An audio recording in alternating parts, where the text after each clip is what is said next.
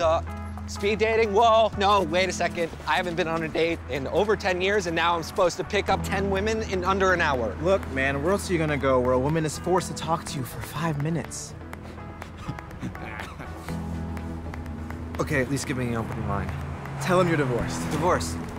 Why? Because it gives you a worldwide seal of approval, just like a Visa, MasterCard, or Diners Club. What are you talking about?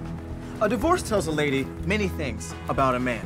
First off, if you're divorced, it means you've been married. That shows you're capable of commitment. Also, it proves that there was at least one other woman who consensually desired you of her own volition. That's what we call validation. Now, march in there, Private Cherry, and do us proud. So, if I was sitting across from one of your friends and they had to sell me on Mr. Ricky Leary, what are some of the good things they'd tell me? Well, I've been divorced five times, which, um, of course, shows you that I'm a one-man woman.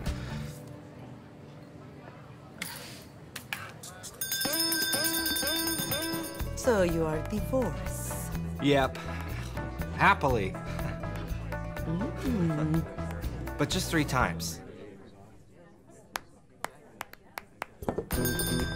Have you ever been married?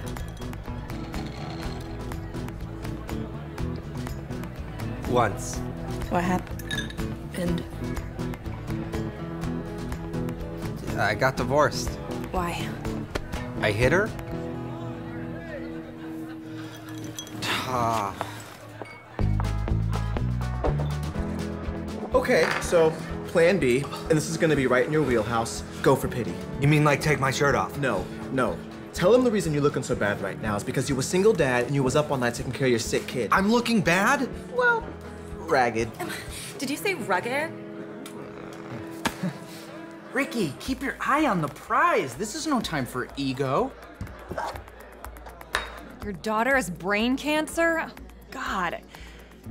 Oh, you poor thing. How long do the doctors give her?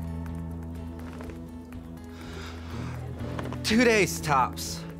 Which means I'll be totally free for the weekend if you want to catch a flick.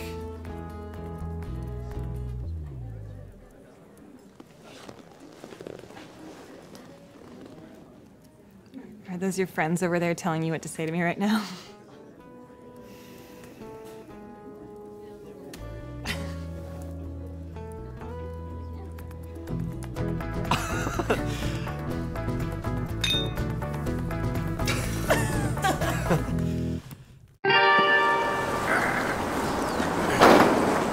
Speed dating. Mm-hmm. Speed dating. Whoa. Wait a second. I haven't had a date in 10 years. And now I have to pick up 10 women in under an hour?